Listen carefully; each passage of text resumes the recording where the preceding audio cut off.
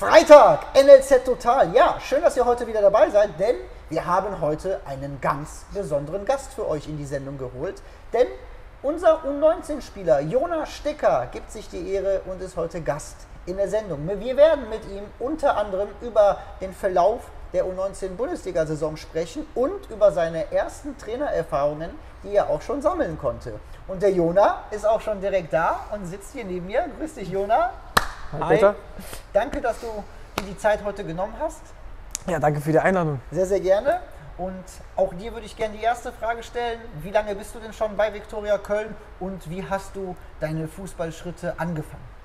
Ja, genau. Also ich bin äh, seit Sommer bei der Viktoria. Ähm, ich habe das Fußballspielen mit fünf begonnen, ähm, damals noch natürlich bei meinem Dorfverein. Ähm, ja, äh, bin dann tatsächlich über ein Feriencamp bei der Taxofit Fußballschule gelandet ähm, war dann dort drei Jahre und wurde dann von Bayer Leverkusen gescoutet. Ähm, bin dann 2012 dorthin gewechselt, ähm, habe sechs Jahre dort gespielt und ähm, bin dann für ein Jahr zu Fortuna Köln gewechselt und äh, spiele jetzt, wie gesagt, seit Sommer bei der Viktoria. Und in der U19 Bundesliga bist du ja, wie gesagt, aktiv. Und wie die Saison verlaufen ist und was dir auch ja, das ein oder andere noch passiert ist, das besprechen wir dann gleich im PK-Raum. Ich freue mich auf ein cooles Interview. Komm, wir gehen rüber und los geht's.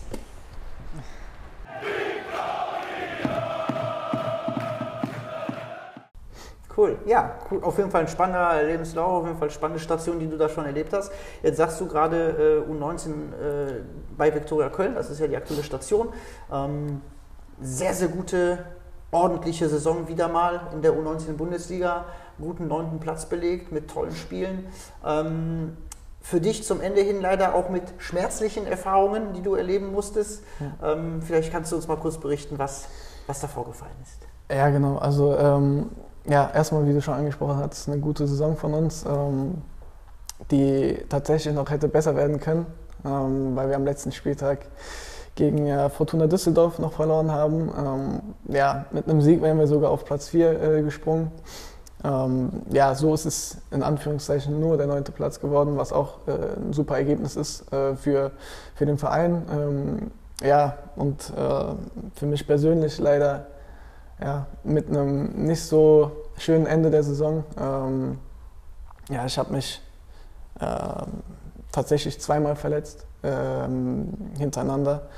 Das hat angefangen im, ja, im Ende November ähm, beim Spiel gegen den FC hier oben auf dem Platz. Ähm, ja, tatsächlich ganz am Anfang des Spiels sogar schon, in der fünften Minute. Ähm, hab dann aber tatsächlich das ganze Spiel noch weitergespielt. Wir haben im Endeffekt ja auch noch 2-0 gewonnen dann sogar. Ähm, ja, aber das war leider ein Spiel mit, äh, war ein teures Spiel für uns. Ähm, ja, ich habe mir dann das Innenband angerissen. Äh, ja, war dann zweieinhalb Monate raus, habe mich durch die Reha natürlich gekämpft mit unserem super Reha-Trainer an der Stelle, Nico. Viele Grüße an dich.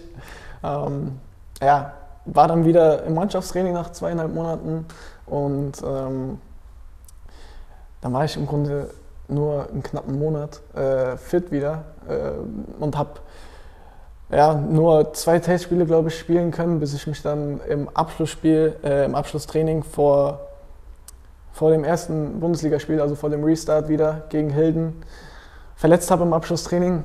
Ähm, ja, habe mir dann einen Mittelfußbruch zugezogen.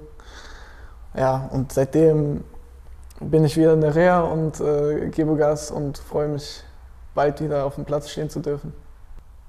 Der DFB hat ja sich was überlegt, weil die Saison ja quasi schon zu Ende ist und äh, hat eine, eine, ja, ich sag mal, eine neue Spielrunde eingeführt in der Zeit, wo die Saison zu Ende ist, bis eben zu, ja, in, zu den Ferien, um das ein bisschen zu überbrücken. Könntest du uns vielleicht erklären, ähm, wie diese Spielrunde aussieht und äh, ja, gegen wen ihr da so antreten müsst? Ja, genau. Also ähm, ja, es wurde leider nur eine Hinrunde gespielt äh, in der U19-Bundesliga und ja, die war schon im März zu Ende, Anfang März. Und äh, ja, bis die Saison dann zu Ende ist, sind es noch gut drei Monate. Und dann hat der DFB eine Sonderspielrunde ins Leben gerufen für alle äh, Bundesligisten.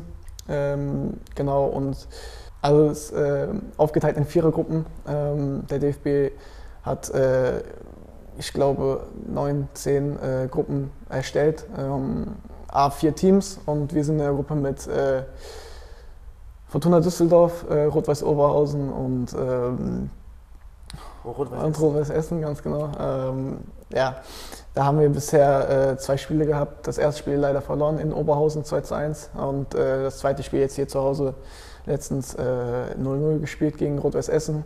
Ähm, haben jetzt noch ein Spiel gegen Düsseldorf und ähm, ja, es ist aber immer noch äh, möglich, äh, unter die ersten zwei zu kommen, die dann weiterkommen in eine äh, überregionale Gruppe und ähm, die letzten beiden kommen auch noch in eine äh, weitere Gruppe, allerdings halt dann mit den etwas, äh, ja, oder mit den Teams, die sich nicht durchsetzen konnten in der Gruppe. Ähm, ja, und das ist natürlich das Ziel, noch die ersten beiden Plätze zu erreichen. Und äh, das ist, wie gesagt, noch möglich. Ähm, spielen dann in Düsseldorf und versuchen dann natürlich äh, das Spiel klar für uns zu gewinnen natürlich. Ja. Okay. Ähm, jetzt ist es so, wenn dann quasi der Sommer vor der Tür steht, ist es ja für dich, da du, wie du es ja gesagt hast, 2004 geboren bist, auch das Ende des Weges in der Jugend. Denn damit ist ja für dich quasi der Weg hier vorbei und dann geht es in den Seniorenbereich. Ähm, wie, wie, fühlt man sich so, wenn man weiß, okay, ein paar Monate noch in der Jugend und dann ist es äh, vorbei? Ja, ist natürlich ähm, auch ein bisschen aufregend. Ähm, ja, man, man spielt seit man ganz klein ist Fußball und hat natürlich immer, immer diesen äh, Traum gehabt, Fußballprofi zu werden. Und dafür hat man tagtäglich gearbeitet und so viele Stunden äh, trainiert. Und jetzt so kurz äh, vor dem Ende der Jugend zu stehen, ist natürlich äh, ja, auf der einen Seite auch ein, äh, ein schönes äh, Erlebnis, dann in den Herrenfußball zu gehen. Ja, Mal gucken. Äh, die Zeit bis Sommer geht ja auch sehr, sehr schnell vorbei, deswegen werden wir mal gucken und sind sehr gespannt, wie es dann, dann weitergeht für dich. Ähm, Nochmal ganz kurz, du bist ja auch in deiner Mannschaft in der U19 stellvertretender Kapitän. Äh, mich würde mal interessieren, für wie wichtig erhältst du dieses Amt und wie kriegst du dann auch deine Spieler und deine Jungs dann auch gepackt? Ja, also ähm, wie du schon gesagt hast, ich bin äh, Vizekapitän äh, in der U19 und ähm, ja, es ist, äh, es ist auch eine kleine Ehre natürlich, äh, dieses, diese, dieses Amt direkt äh, zu bekommen. Und ähm, ja, weil ich auch gerade erst äh, überhaupt zum Verein gekommen bin. Und ähm, ja, das ist eine große Wertschätzung. Ähm, und äh, dementsprechend nehme ich die Rolle natürlich auch ernst. Und ähm, ja, wir, wir, wir äh, reden sehr viel im Team und ähm, ja, haben mit einem Mannschaftsrat auch äh, nochmal äh, drei, vier Leute, mit denen, mit denen wir dann so interne Entscheidungen natürlich noch treffen. So, aber ähm, ja, für mich ist das, äh, für mich ist das natürlich eine Ehre. Ähm, und ja, also man hat natürlich eine äh, Vorbildsfunktion innerhalb des Teams. Ähm, und äh, egal, ob es auf dem Platz ist oder neben dem Platz, ähm, äh, ja, man, man, man nimmt da alle Jungs mit und äh, kümmert sich dann auch um, um beispielsweise, dass die Materialien auf dem Platz sind, äh, vollständig. Ähm, ja, aber natürlich auch die Aufgaben auf dem Platz, äh, dass, dass die Jungs, äh, die Jungs mitziehen, äh, alle an ihre 100 Prozent kommen und ja, es ist wirklich eine spannende Aufgabe und ähm, ich habe mich auch sehr gefreut, die Aufgabe antreten zu dürfen. Und vor allen Dingen als einer, der relativ frisch und neu im Verein ist, dann das äh, machen zu dürfen. Ich glaube, das kann man, wie du es auch gesagt hast, ruhig auch mit Stolz und Freude dann auch äh, übermitteln und auch tragen. Ähm, ja, jetzt haben wir viel von dir gehört, Jona. Mich würde mal zum Ende so ein bisschen äh, interessieren, was ist denn für dich ganz besonders einzigartig hier bei Viktoria Köln in dem Verein und vielleicht auch anders zu den Stationen, die du vorher hattest?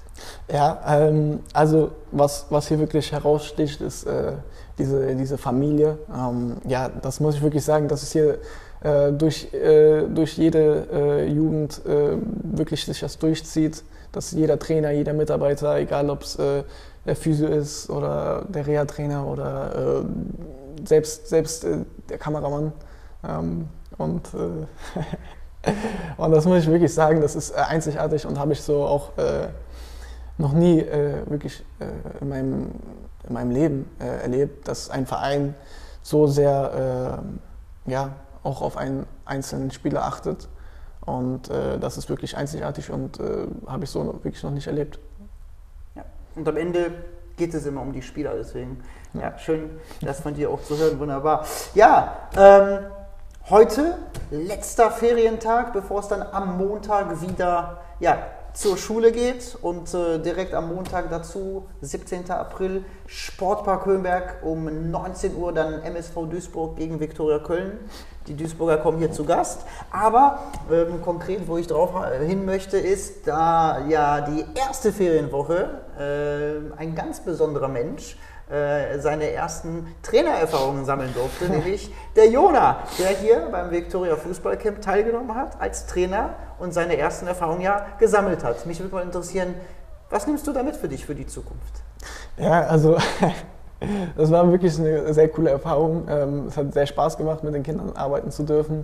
Ähm, ja, wie du schon gesagt hast, ich war im Feriencamp hier, äh, habe zwölf Kinder trainiert, ähm, vier Tage lang und äh, es hat mir wirklich großen Spaß gemacht. Ähm, ja, also was ich äh, auch für mich mitnehmen kann, ist auf jeden Fall auch äh, einfach mal die andere Seite auch äh, kennengelernt zu haben, mit der man ja auch tagtäglich arbeitet. Also die Trainer begegnet man ja jeden Tag äh, mehrere Stunden und ohne halt wirklich zu wissen, so wie, wie fühlt sich auch vielleicht ein Trainer oder wie ist die, wie ist die Aufgabe von einem Trainer wirklich. Und ähm, ja, das war wirklich spannend, äh, die Kinder trainieren zu dürfen. Es hat wirklich großen Spaß gemacht. Ähm, ja, ich glaube, den Kindern hat es auch Spaß gemacht. Und ich glaube, es ist auch wichtig, äh, einen gewissen Teil von dem, was man selbst lernt äh, in der Karriere, die Erfahrungen, die man sammelt, weiterzugeben, um ja, die neue Generation auszubilden. Und ich glaube, das ist ganz, ganz wichtig.